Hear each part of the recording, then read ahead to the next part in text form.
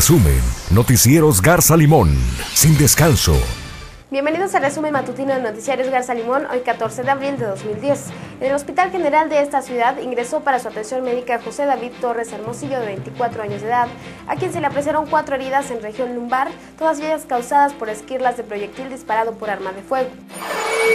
El secretario general de Gobierno, Oliverio Reza Cuellar, manifestó que es preocupante el estado de inseguridad que vive el país, mismo que ha provocado una nueva alerta de los Estados Unidos para que sus ciudadanos no viajen a estados del norte como Chihuahua, Coahuila y Durango. Esta alerta que acaba de emitir el gobierno norteamericano el día de ayer para los tres estados del norte, Chihuahua, Coahuila y Durango, sobre todo pues eh, nos obliga a nosotros a trabajar todavía con más cercanía con la federación. Estaremos en los um, próximos días este, en México por una instrucción del gobernador con el Gabinete de Seguridad para buscar precisamente a nosotros un mayor apoyo. Raúl Medina Samaniego, líder sindical de la Alianza, aseveró que los servicios nocturnos de esta base se suspenden por seguridad, tanto de los trabajadores como de los usuarios, a partir de las 23 horas. Es nuestra decisión, no es decisión del gobierno del Estado.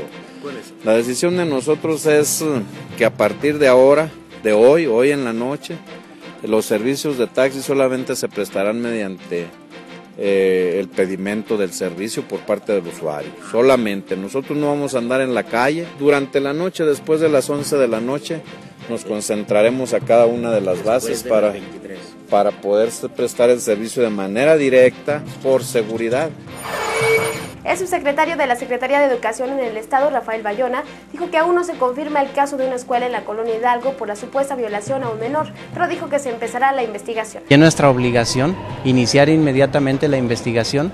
No sabemos si es un abuso deshonesto o realmente es una violación. Eso ya lo tendrá que determinar la autoridad competente. Nosotros únicamente vamos a darle seguimiento a las denuncias presentadas por los padres de familia en la instancia que haya sido. El secretario de Gobernación, Fernando Gómez Montt, afirmó que el incremento de ataques contra personal y sedes diplomáticas de Estados Unidos en México puede ser un intento de calentar la plaza para aumentar la presencia de fuerzas de seguridad en determinados espacios, con la intención de afectar a aquellos cárteles que tienen más fuerza en determinada zona. El PRI en el Senado anunció que no aprobará el proyecto de ley antisecuestro que presentó el panista Alejandro González Alcocer, presidente de la Comisión de Justicia, toda vez que se ha revisado y no hay manera de votarlo con ese contenido. México requiere con urgencia una ley antisecuestro, pero esa no es, sentenció el coordinador Mario Fabio Beltrones. Ante la baja cantidad de credenciales 03 que han sido renovadas, el IFE prevé tomar medidas extraordinarias para incentivar su cambio, como pedir a los bancos que no hagan válidas las identificaciones con ese número.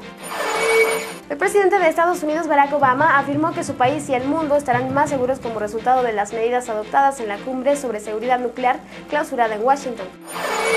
Los Ángeles Lakers, Minnesota, Timberwolves y Nueva York Knicks disputarán cuatro partidos amistosos en octubre, entre ellos y ante dos conjuntos europeos, Almani Jeans Milán y Regal FC Barcelona, informa el comisionado de la NBA David Stern. El secretario mexicano de Gobernación, Fernando Gómez Montt, dijo que las críticas expresadas por el cantautor español Joaquín Sabina al gobierno de México sobre la guerra que mantiene contra el narcotráfico son bien recibidas y no hay razón para expulsarla del país. Por mi parte es todo, mi nombre es Nayeli Olagues y los espero en el próximo resumen de Noticiarios Garza Limón. Ya estás enterado de lo más importante. Noticieros Garza Limón.